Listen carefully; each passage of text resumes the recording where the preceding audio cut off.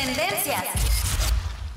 Grupo Frontera y Bad Bunny son tendencia en redes sociales pues tomaron a todos por sorpresa este domingo al anunciar que al otro día se publicaría su colaboración 1%, el tema que ya está disponible en las principales plataformas de streaming. Esta no es la primera vez que el Conejo Malo tiene un acercamiento con la música mexicana. El puertorriqueño ya tocó las aguas de los corridos tumbados en una colaboración con Natanael Cano, Soy el Diablo.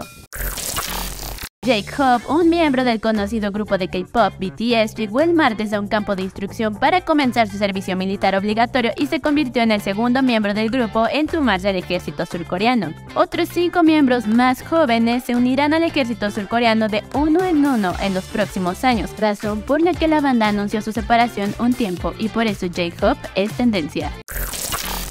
Harry Potter una vez más es tendencia y es que echaste de menos el Quidditch en Hogwarts Legacy. Tenemos buenas y mejores noticias, así que agárrate bien a tu Nimbus 2000. Warner Games acaba de anunciar Harry Potter Campeones de Quidditch basado en el famoso juego del mundo mágico. Warner ya ha confirmado que será posible jugar a Harry Potter Campeones de Quidditch tanto en solitario como en online. Sin embargo, las plataformas de lanzamiento todavía no están decididas más allá de que se jugará tanto en PC como en consolas. Warner está más que dispuesto a expandir el mundo mágico de Harry Potter, además de las versiones de Hogwarts Legacy de Switch, Xbox One y PlayStation 4. Tendencias.